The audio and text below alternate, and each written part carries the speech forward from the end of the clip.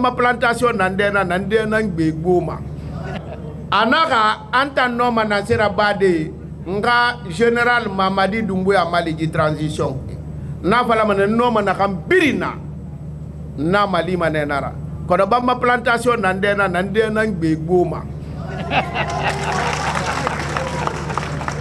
ya wolo nga fe de de fala wo be e bari mbade ministre ya mine na na na to ma na na awai to bare ba na wa so de na ka nya na ka yo. Na men to ba ta na ma dépense fi ba ba ki ara mu na na parce que ma plantation na de na na donc non ma général mali de wa fanyi fala ala ko to mi ka fe fanyi kulo ala taala fan na ka birinda na handa nga birina wengi nara. Nanar sena kam birina dunia ma na handa nga birina alquran karim nara. Nan qui alquran ala taala yete ha wengi. Donc ce que je peux faire pour le général c'est être un pèlerin pour lui. Pour expliquer d'abord ce que ces jeunes officiers représentent.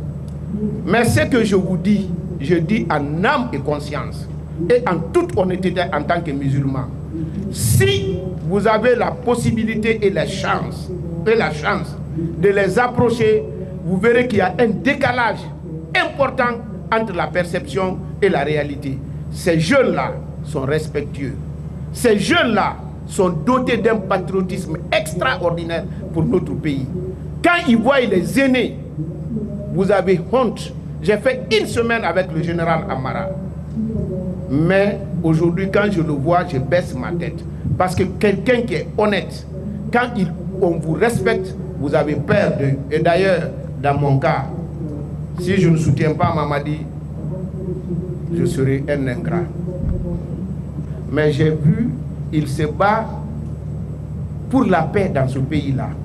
Et la main tendue du CNRD là, c'est une main sincère. C'est une volonté inébranlable